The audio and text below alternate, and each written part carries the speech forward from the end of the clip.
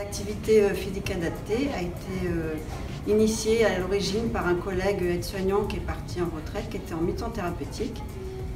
Et nous avons repris le flambeau avec ma collègue Angélique et nous avons décidé de mettre en place ce Tour de France dialyse afin de promouvoir le, le pédalier en dialyse et l'activité physique en général. Et on a allié en fait euh, le Tour de France.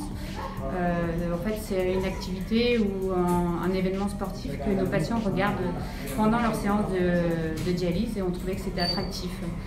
Et euh, pour faire connaître le pédalier et faire de l'activité physique.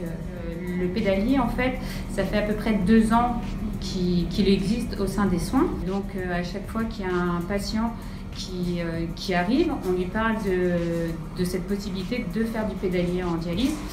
Et euh, donc il y a ça, il y a également aussi euh, quand normalement on fait le pédalier, les patients ont des tests en fait, d'équilibre et de marche. Et il faut aussi que leur pathologie ou leur état physique soit possible avec l'activité physique. Et donc il y a aussi un accord des médecins. Il faut savoir que depuis à peu près un an, euh, les APA qui sont au MPR participent aussi à notre projet. Donc euh, ils viennent euh, plusieurs fois par semaine. Sur du long terme, le bénéfice du pédalier en dialyse aussi permet à certains patients de faire une autre activité à l'extérieur pour, parce qu'en fait, on s'est aperçu qu'ils faisaient très peu d'activité physique. Sauf que activité et, physique et hémodialyse peuvent être compatibles. Nous, les euh, bénéfices qu'on voit et qui ont été prouvés sur le plan scientifique, c'est que euh, vous avez un maintien de la tension qui est à peu près stable pendant la dialyse. Avec la perte de poids, vous pouvez avoir les patients qui ont une baisse de tension qui va devenir symptomatique. Et donc, le fait d'entretenir une activité physique, vous maintenez une tension qui est euh, plutôt stable. Ça, c'est le premier, c'est le premier point. Euh, l'élément supplémentaire, c'est qu'en général, ce sont des patients qui euh, vont trouver la séance de dialyse longue, parce que ce sont des, séances de 3, 4, voire 5 heures selon les patients. Et le fait d'avoir une activité de 20 minutes, une demi-heure, ça a un impact positif dans le sens où ils sont actifs dans leur thérapeutique. Donc en plus de l'épuration des toxines, eh ben, ils vont avoir un entretien de, leur capacité musculaire, de leur capacité euh, au niveau de la mobilité. Ça permet aussi d'améliorer entre guillemets l'autonomie chez les patients notamment qui ont un certain âge, parce qu'on va travailler sur la coordination, euh, on va travailler sur la force musculaire et, euh, et globalement d'un point de vue psychologique, ça c'est le dernier point, les patients ont un objectif en fait quand ils, euh, quand ils vont faire leur séance, c'est-à-dire que euh, en fonction de leur état psychologique, en fonction de leur euh, caractère, en fonction de leur, capacité physique, ben, on va adapter d'un jour à l'autre la séance en fonction de leur état de forme et ils en sortent avec un bénéfice en disant ben, j'ai réussi à faire la séance,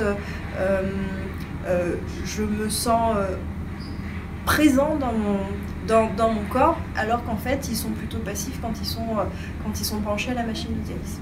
Pour les patients qui pédalent pas, il y a un quiz qui a été mis en place. C'est un quiz sur les questions, euh, on va dire, d'ordre général, un peu sur, la, sur les régions, on va dire, du Tour de France. Des questions sur un petit peu sur la dialyse et des questions sur le Tour de France.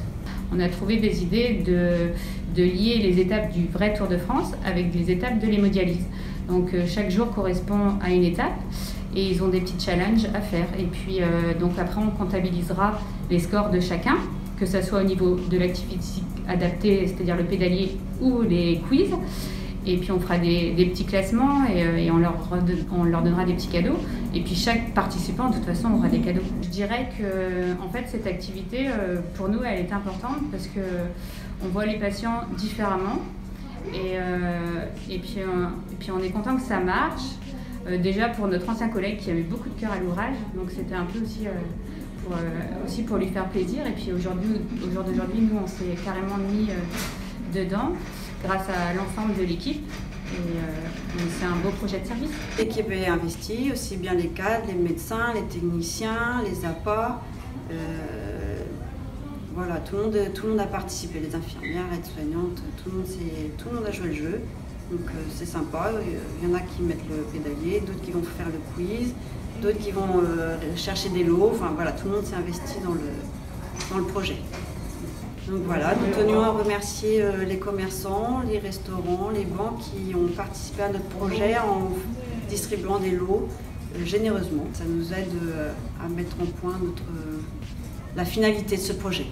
Voilà.